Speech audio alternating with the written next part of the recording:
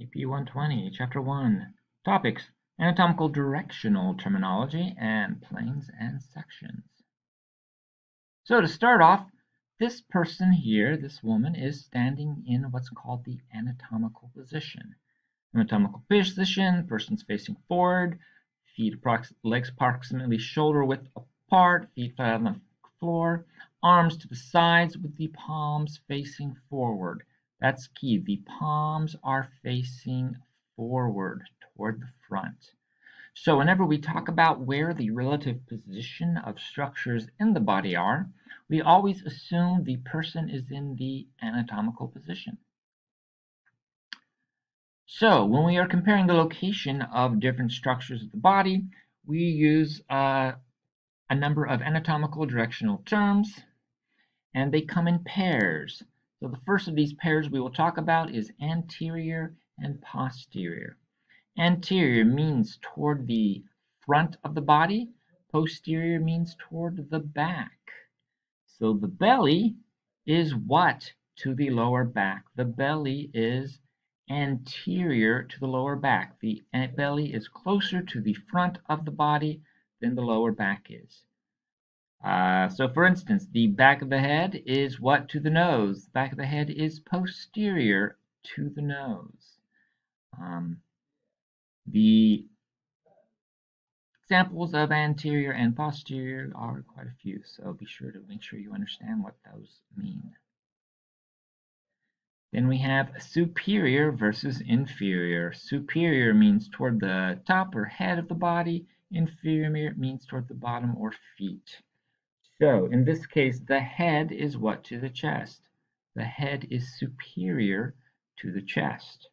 Or uh, the um, urinary bladder is what to the heart? The urinary bladder is inferior to the heart. The urinary bladder is closer to the feet than the heart is.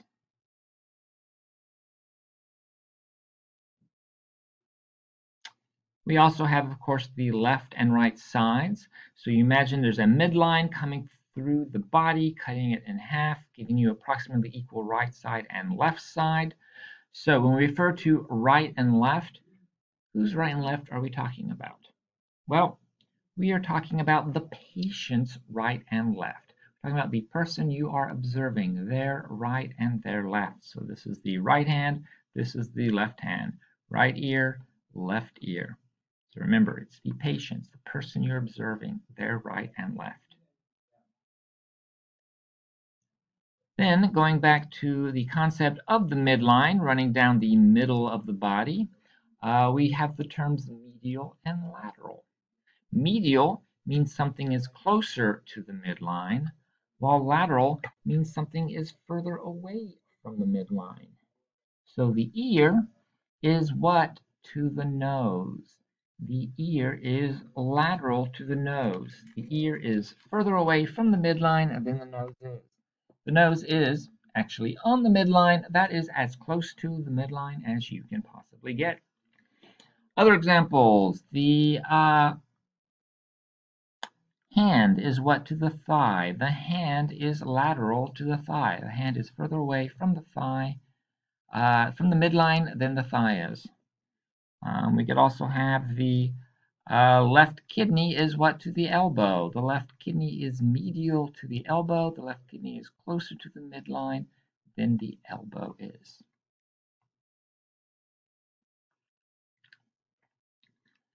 Then we have another pair of terms, proximal and distal. Proximal and distal only refer to structures within a single limb. So only when you're talking about two structures within a single limb, do you use proximal and distal? And proximal and distal will replace the terms inferior and superior. Basically, proximal means closer to where the limb attaches to the trunk of the body. Distal means further away from where the limb attaches to the trunk of the body. So the elbow is what to the wrist. The elbow is proximal to the wrist. The elbow is closer to where the limb attaches to the body than the wrist is. Or another example, the foot is what to the knee? The foot is distal to the knee. The foot is further away from where uh, the attachment to the trunk of the body is compared to the knee. The knee is closer to where the trunk uh, leg attaches to the trunk of the body. So again, proximal and distal used when you're only talking about structures within one limb, and it replaces superior and inferior. So when we talk about limbs, we can still use anterior, posterior, we can still use lateral and medial. We just replace out superior and inferior with proximal and distal.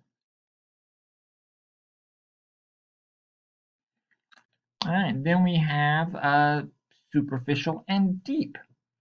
Superficial means closer to the surface of the body. Deep means further away from the surface of the body. And this is usually used to talk about things that surround each other or layers of an organ or structure. So for instance here we have the heart. The heart is what to the skin. The heart is deep to the skin, is further away from the surface of the body than the skin is. And since the skin is the surface of the body, it is as close as superficial as you can possibly get.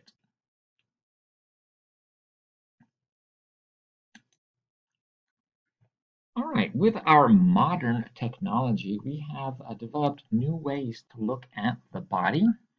For instance, we have computerized tomography or CT scan. Computerized tomography uses X-rays emitted in many directions to allow us to get two-dimensional and three-dimensional views of inside the body without actually having to cut open the body. And this is some pretty amazing technology that ends up letting us see the body in slices. To talk about those slices, uh, we have the concepts of planes and sections. So a plane is this imaginary sheet that cuts through the body. And then when you open it up, what you see on the surface where that cut occur is the section. So here's a section of the knee, knee here, that we see because it's been cut through by a plane. Now, we have different kinds of planes that cut the body in different orientations. So for instance, we have the frontal plane. The frontal plane, also known as the coronal plane, the frontal plane cuts through the body, giving us a front piece and a back piece, or an anterior piece and a posterior piece. And so again, we cut a frontal plane through the knee, we can get this frontal section of the knee joint. Then we have the transverse plane. Transverse plane is a sheet that cuts through the body so that we have a top piece and a bottom piece. Uh, so again, transverse plane cuts through the body, giving us a superior piece and an inferior piece. And when we look at where the uh, plane cut through, we get a transverse section giving us a view of that part of the body. In this case, a view of the um, abdominal cavity.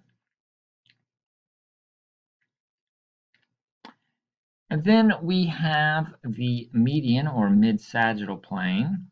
The mid-sagittal plane cuts through the midline of the body, giving us a right side or piece and a left piece. So a median or mid-sagittal plane cuts through the midline, giving us a right and left pieces. And we open that up and look at where the plane cut through, we can see the mid-sagittal section or median section. So here is a view of the head and neck that's been cut by a mid-sagittal plane. Now, it turns out there's also a parasagittal planes. Parasagittal planes cut through the body to give us a right and left pieces, but those pieces are not um, basically identical or equal. It's away from the midline. So a parasagittal plane is cutting through the body at an area other than the midline, giving us a right and left piece that are unequal. And that is it for this part of the lecture.